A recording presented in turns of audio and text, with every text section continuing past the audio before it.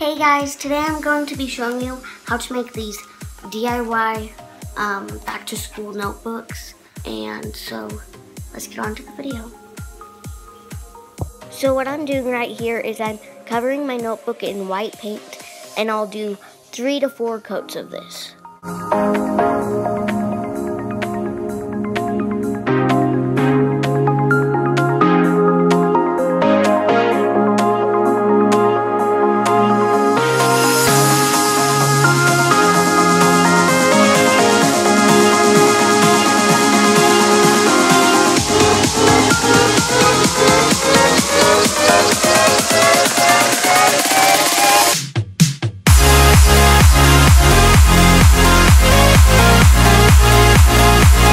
So once you're done with all the coats and letting it dry, you're going to take a piece of tape and put it on your book wherever you like.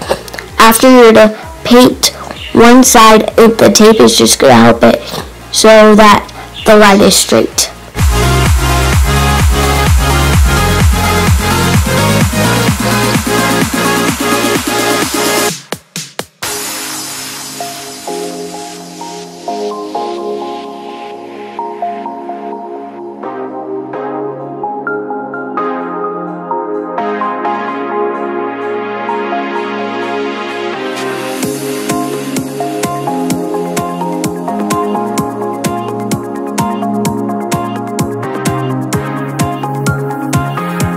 So after the paint is dry, you're going to carefully take off the tape without making any dents in the paint.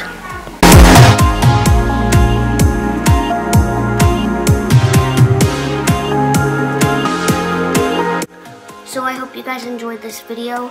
Please give it a big thumbs up and don't forget to subscribe down below. Comment what you'd like to see next and thank you for watching.